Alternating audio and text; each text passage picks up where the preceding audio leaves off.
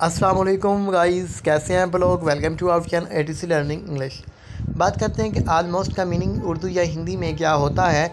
आज की इस वीडियो में हम देखेंगे। अगर अभी तक आपने हमारे channel A T C learning English को सब्सक्राइब नहीं किया तो ज़रूर सब्सक्राइब कर दीजिएगा।